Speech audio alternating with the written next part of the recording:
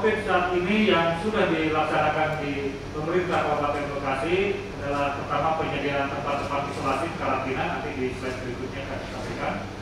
Yang kedua, Bupati almarhum sebenarnya sudah melakukan gerakan bersama pengetatan protokol kesehatan ini untuk seluruh wilayah para pejabat struktural, para camat, para kepala desa diwajibkan menjadi teladan untuk uh, penerapan protokol kesehatan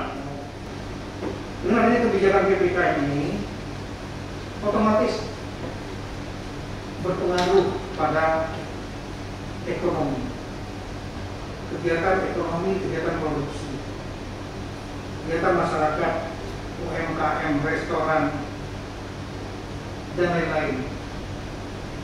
Nah masyarakat ini harus diberikan bantuan oleh pemerintah baik pemerintah pusat maupun pemerintah daerah.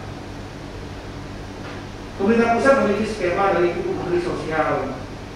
Ada PKH, bantuan langsung tunai, bantuan pos,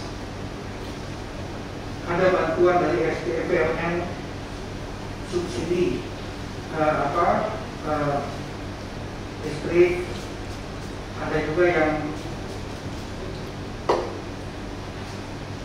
apa kartu prakerja, bantuan UMKM dari Menteri Koperasi dan lain. Nah, pemerintah pusat silakan saja memberikan bantuan dengan skemanya. Tapi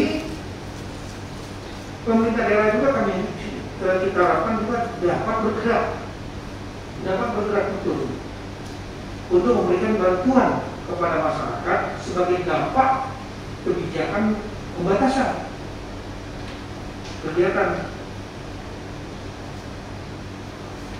identifikasi siapa-siapa yang terdampak berikan bantuan kepada mereka. Dari mana anggarannya?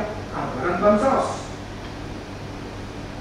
anggaran anggaran bansosnya anggaran yang yang reguler yang ada dalam APBD yang kedua adalah BTT belanja tidak terduga